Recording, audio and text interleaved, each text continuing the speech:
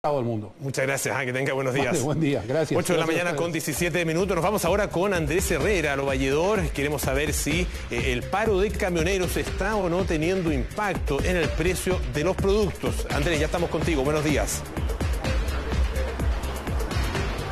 Claro, bueno, estamos acá en el centro mayorista del Valledor para ver acá en terreno si ha afectado la variación de precios con respecto al paro de camioneros, como tú bien lo mencionabas. Es por eso que estamos con el ministro de Agricultura, Antonio Walker, que nos va a entregar la información con respecto a si ha incidido directamente o no en el bolsillo de todos los chilenos para la compra de verduras y frutas, por lo menos acá en la zona central. ¿Cómo está, ministro? Buenos días, eh, muy bien, gracias. Bueno, aquí estamos en, en Lo Valledor desde muy temprano, hemos recorrido eh, el mercado varias veces y la verdad, Polo, es que no vemos alteraciones de precio, los precios son eh, muy competitivos, muy estables, muy parecidos a otras... eh, épocas de- del año y también hemos hecho un estudio con ODEPA, con nuestros tomadores de precios y vemos que los precios están estables, competitivos, los precios que varían son los propios de la estación y en ese sentido decir que la región metropolitana está muy bien abastecida de alimentos y yo diría que de Chillán hasta Arica no estamos teniendo problemas con la distribución de los alimentos y esa es una buena noticia, tenemos eh, más problemas en la Araucanía, en los ríos, en los lagos, en la zona eh, sur del país, pero esperamos que hoy día podamos llegar a acuerdos con los transportistas, ¿no es cierto? Porque es muy importante no alterar el orden público y eh, hacer todas nuestras acciones dentro del Estado de Derecho para que Chile y los chilenos estén bien abastecidos de alimentos. Eh, con Sergio Pérez tenemos un compromiso. Los camioneros de Chile participan en el Comité de Abastecimiento Seguro de Alimentos que creó el Ministerio de Agricultura. Llevamos seis meses trabajando junto a los camioneros para eh, producir, procesar y poder distribuir todos los alimentos a lo, largo y ancho del país.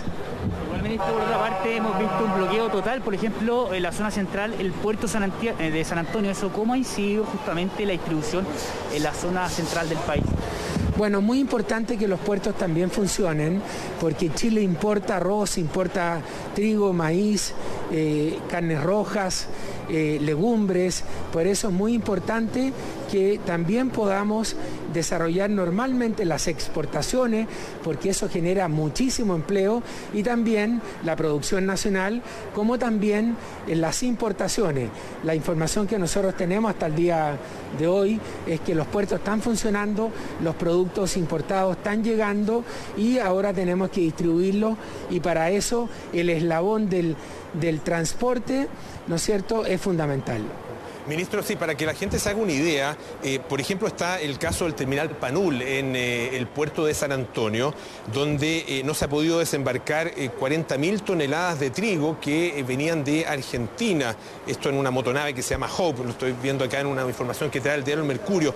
Para esa descarga y para la distribución se necesitan 1.300 camiones que no están disponibles. Ah, son 40.000 toneladas de trigo y eso, claro, eh, eh, está ahí en, eh, en San Antonio y también se repite en otros buques y también en otros puertos. La verdad que ya se está afectando de una manera muy importante la distribución de los alimentos. A lo mejor no se nota todavía en los hogares, ¿no es cierto? Pero esto va a tener una consecuencia.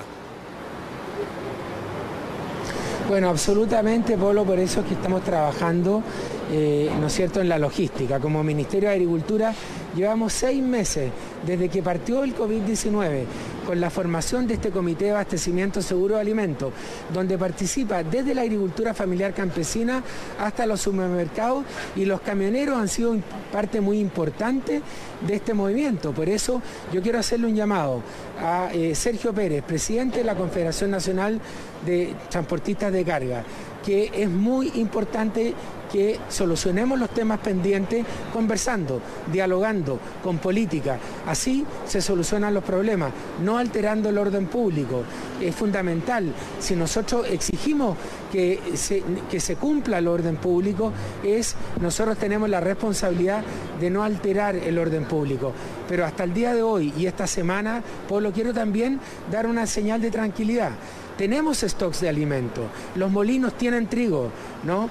La cadena trigo, harina y pan está funcionando. Hoy día en Lo Valledor llegamos muy temprano, mañana en La Vega Central con los feriantes, estamos conversando, tenemos alimentos, tenemos problemas en el sur de Chile, en la Araucanía, los ríos y los lagos, ¿no? Pero yo espero que con un buen diálogo hoy día, ¿no es cierto?, podamos llegar a un acuerdo con los camioneros de Chile, porque es fundamental, ¿no es cierto?, eh, que a Chile y a los chilenos en épocas de pandemia no nos falten los alimentos.